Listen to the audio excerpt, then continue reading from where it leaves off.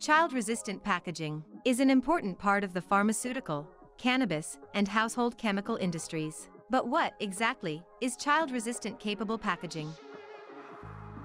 Child-resistant capable packaging components, like closures or containers, are components that have been designed to be able to comply with the requirements of the U.S. Consumer Product Safety Commission when manufactured and filled properly, in combination with other child-resistant capable components. The packaging has not gone through final testing and certification because it is an individual component or incomplete package. While Berlin Packaging supplies our customers with child-resistant capable packaging components, it is the customer's responsibility to determine whether the final filled product complies with the Poison Prevention Act. This could include subjecting the final filled product to child-resistant testing and certification.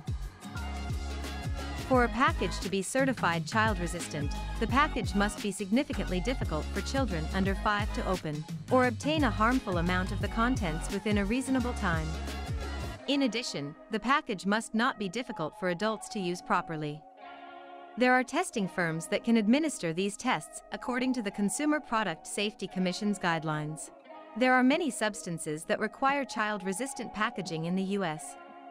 Your end product may require child-resistant packaging if it is a chemical, mouthwash, drug or dietary supplement, liquid nicotine container, Please visit the U.S. Consumer Product Safety Commission website for more information.